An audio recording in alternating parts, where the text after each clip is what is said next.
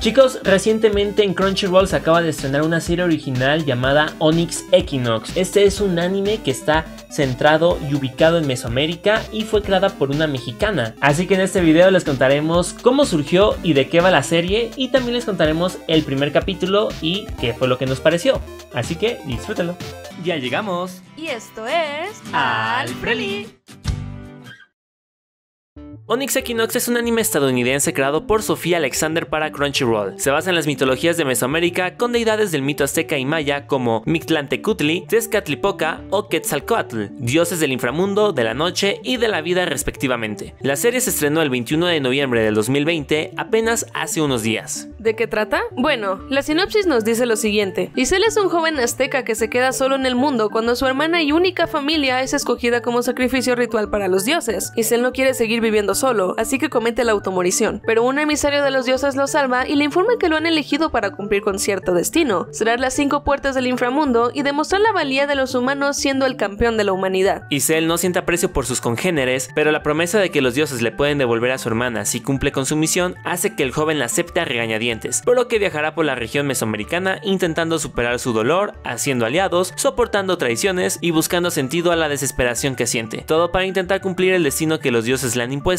antes de la siguiente luna nueva. De su éxito dependerá el destino de la humanidad. Oye, tranquilo viejo. Y bueno, ya lo escucharon. Este anime toca temas bastante subidos de tono, depresión, el querer quitarse la vida, e incluso hay violencia muy gráfica, aunque no pondremos ninguna imagen de eso porque el señor YouTube nos regañaría. Pero regresando, de una vez les decimos que esta historia está dirigida para un público adulto. Por ahora ya sabemos quién es la creadora y de qué va la serie, pero ¿cómo fue creada? Gracias a una entrevista que podemos encontrar en internet hecha por Cultura Geek, podemos saber más sobre ese proceso.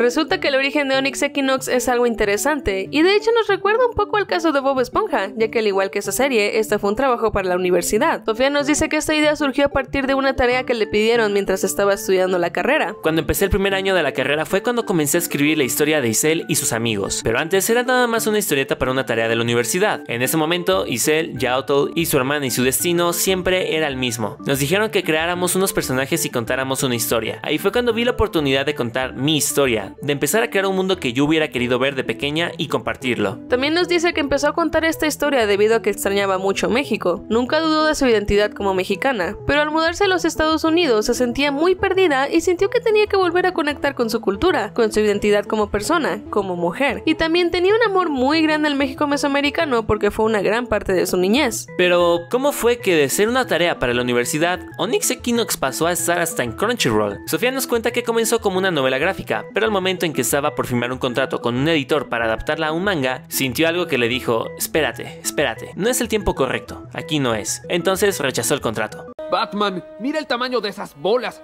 Con respecto a adaptar la historia a una serie animada, indicó, me dije a mí misma, lo puedo hacer así. No sé cómo, no sé cuándo, no sé dónde, pero lo voy a hacer. Hasta mi esposo se lo dije. Cuando todo pasó me di cuenta de que es una experiencia hermosa. Me siento dichosa de poder contar mi historia a mi perspectiva de un México que me gustaría compartir. Agregó, espero que le guste a México y que se vean y se identifiquen, que les dé orgullo, que se sientan vistos y puedan contar sus propias historias. Eso es lo que más anhelo, que cuenten sus historias y que se sientan animados. Y es que el momento en el que fue a pichar su serie también es interesante, ya que ella dice que lo que pasó fue que su manager quería que fuera a pichar su serie con los estudios a los que les interesaría contar una historia con estilo anime, una historia con un tono más adulto. Lo gracioso de esto es que Sofía nada más iba a una junta general para conocer a Marisa Balkus, quien es una de las ejecutivas de desarrollo de los originales de Crunchyroll. Sofía nos dice que en ese momento todo fue normal, se presentaron, le habló un poco de ella y le platicó sobre su proyecto, que es básicamente para lo que sirve ese tipo de juntas y ya. Y si se interesan en ti te vuelven a dar otra fecha para tener otra junta y hablar más sobre tu proyecto. Sin embargo, Sofía iba muy preparada y cuando terminaron de hablar decidió decirle a Marisa que ella era de México y sacó su iPad para mostrarle su historia, la cual le encantó debido a que coincidentemente resulta que a Marisa le encanta todo esto de la cultura mesoamericana. Señor, qué suerte tienen algunos. Gracias a esto, Marisa, por ser tan apasionada de esta cultura, se encargó de que tuvieran los recursos necesarios por parte de Crunchyroll para poder hacer esa historia lo más auténtica posible. Aunque cabe recalcar que esta serie también es una fantasía, así que no todo es, por decir asílo, auténtico, pero sí está basado en lo que conocemos gracias a las clases de historia. Y eso que decían que nunca iba a servir para nada.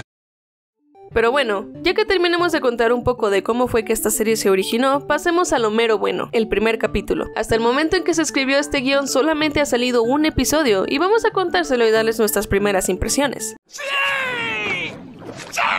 Este se titula El último día e inicia mostrándonos un asentamiento, que por cierto, pequeño paréntesis, hablemos un poco de los fondos. Esto sí nos gustó bastante debido a que son muy coloridos y más que nada porque no habíamos visto estos lugares en alguna animación. Lo más parecido es El Camino hacia el Dorado, pero ahí era una mezcla de culturas. De hecho, nos parece que esta es la primera vez que un anime está ambientado en estas épocas de Mesoamérica y de hecho que se haga mención de culturas como la Olmeca. Ahora sí, continuando con el capítulo, en este asentamiento podemos ver a varios habitantes viviendo tranquilamente para luego pasar a un chico y una chica, quienes se encuentran entrenando, guamazo por aquí, guamazo por allá, hasta que de repente suena una alarma desde lo alto de una pirámide, para después escuchar a un hombre gritar que Danny Van caerá, que ya vienen y que el sacrificio no fue suficiente. Esto porque se acostumbraba en ese tiempo a hacer sacrificios de sangre para los dioses. Entonces ocurre la tragedia. Todo se comienza a nublar, la tierra empieza a temblar y de repente aparecen unas criaturas negras que van absorbiendo a la gente, entre ellas a los dos padres de la chica que vimos al inicio.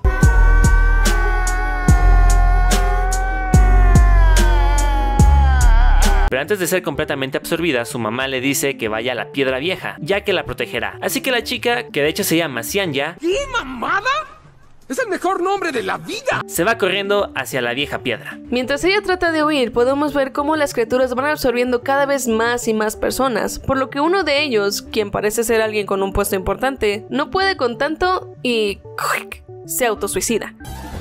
¡Ay, cabrón! Sí, y todo esto con lujo de detalle, nada de censura, y hasta se ve cómo la sangre se escurre por las escaleras de la pirámide. Sí es una escena bastante cruda que nos agarró desprevenidos.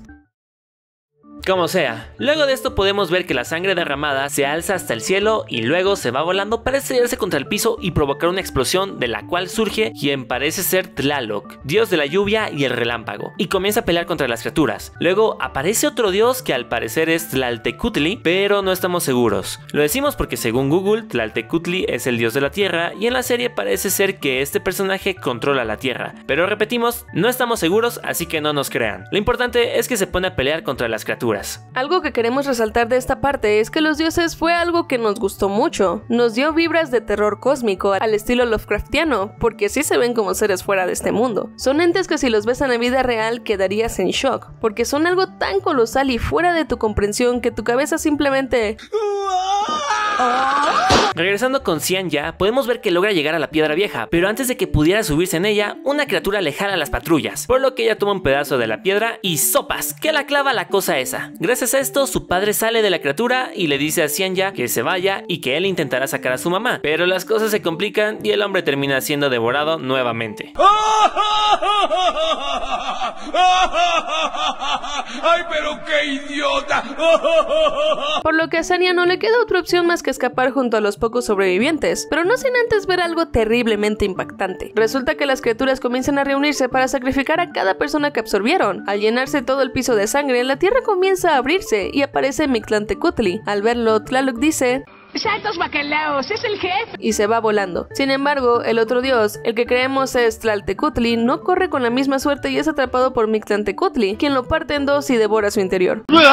¡Santo Dios! Luego podemos ver cómo un niño es poseído por Quetzalcoatl y se reúne con los demás dioses, quienes también poseyeron a otros sobrevivientes. Aquí se ponen a hablar sobre lo que ha pasado y resulta que todo esto fue hecho por Mictlantecutli. Él destruyó el pueblo debido a que ha habido una sequía de sangre y los sacrificios ya no son suficientes, por lo que decidió hacer tal masacre. Esto fue visto por los demás dioses como una declaración de guerra, por lo que todos acuerdan que para terminar con la sequía deberán de deshacerse de los dioses del inframundo cerrando las cinco puertas de este, tarea que fue encomendada a Quetzalcoatl. Por cierto, esta escena en donde están los dioses hablando dentro de los cuerpos de las personas es un poco pesada cuando ves el episodio por primera vez. Esto porque es pura exposición, sueltan muchísima información. Y personalmente sentimos que fue un poco difícil de entender los detalles y el lore que soltaban. Ahora agréguenle que tampoco es como que estemos súper familiarizados con los nombres de los dioses y la función de cada uno, de los nombres de los lugares y todo eso. Si nos quedamos como... ¿El para qué cosa de quién? Pero al final, creemos que si ves esta escena por primera vez, sí podrás entender la idea general. Además, se nos hizo algo muy padre el concepto de que los cuerpos que están siendo poseídos por los dioses se vayan descomponiendo poco a poco debido a que no resisten un dios dentro. Y también, conforme pasa el tiempo, los cuerpos van adquiriendo rasgos característicos de cada dios, como las plumas de Quetzalcoatl, por ejemplo. Son detallitos que están bastante chidos.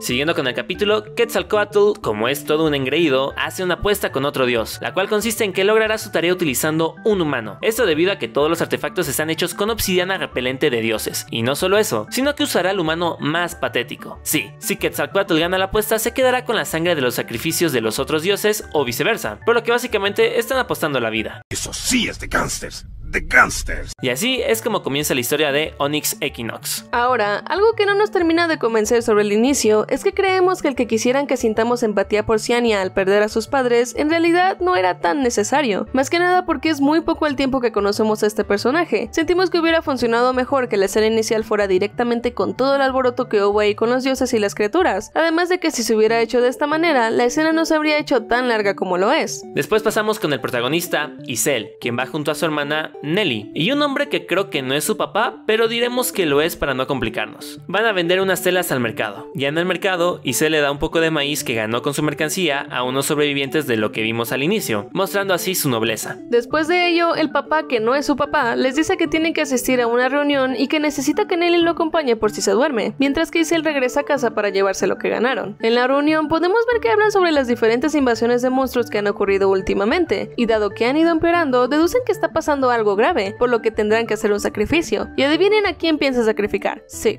a Isel. ¡No! ¡Llévame a mí! Pero tranquilos, que Nelly escuchó todo y logró salvar a Isel, ofreciéndose como sacrificio. ¡No! ¡Llévame a mí! Después podemos ver que Isel llega a casa todo golpeado, por lo que Nelly le pregunta qué pasó y por qué llegó tan tarde, a lo que Isel contesta,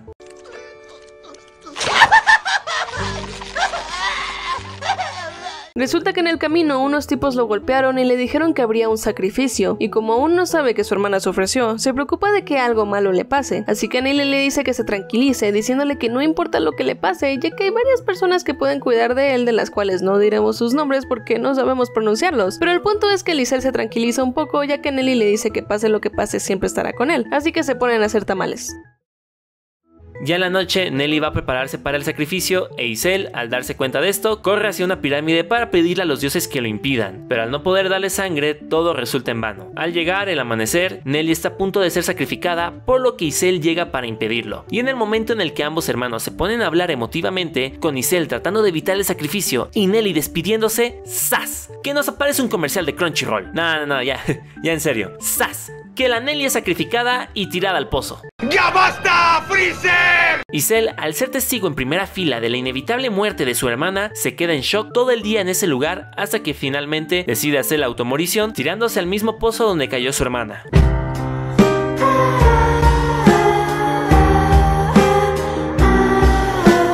Al llegar al fondo del agua, Isel se golpea en la cabeza con una roca y justo después sale una especie de portal por el cual sale un tentáculo que toca la espalda de Isel y lo llena de electricidad. De hecho, esta escena recuerda un poco cuando Anne logra conectar con sus vidas pasadas al golpearse con una roca. Pero bueno, luego de esto aparece Yaotl, el emisario del dios con el que Quetzalcoatl apostó y se queda como ¿es neta que este es el campeón de la humanidad? ¡Ya valió madres! Y fin, aquí termina el primer capítulo de Onyx Equinox. En cuanto a Isel como protagonista, mmm, no lo sé. Cae en un arquetipo de personaje protagonista llorón y a este tipo de personajes a la gente no le suele caerle muy bien. Como ejemplo tenemos a Eren, a Deku o hasta Steven. Así que diríamos que en realidad no es como que nos caiga mal, pero tampoco estamos muy encariñados con él. Aunque tal vez eso pueda cambiar con el tiempo. De todos modos, este es el primer capítulo. Lo único que sí no nos gusta de él es su maldita voz, al menos en inglés. Y lo podemos representar con este video.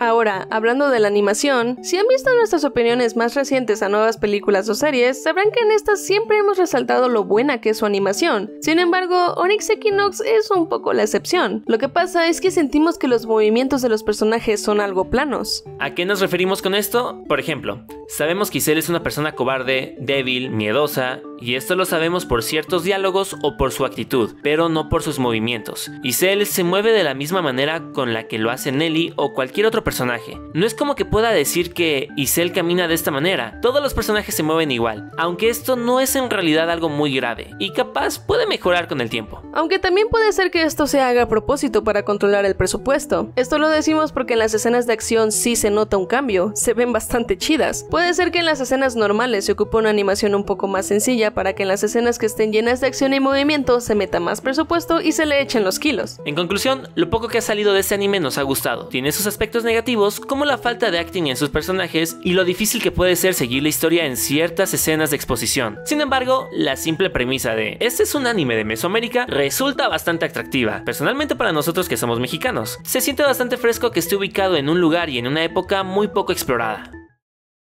Y bueno chicos, pues hasta aquí llega el video de hoy. Acá abajo en los comentarios díganos qué les pareció, si les llamó la atención ver este anime o si ya lo vieron también, qué opinan sobre él. Si quieren ver otra de nuestras opiniones, aquí en la cara de Eli va a estar apareciendo nuestra opinión sobre el nuevo reboot de los Animaniacs. Para que vayan y lo vean. O si quieren otro tipo de contenido, aquí en la cara del Alfredo les vamos a dejar nuestro video de las joyitas ocultas que hay en Disney Plus.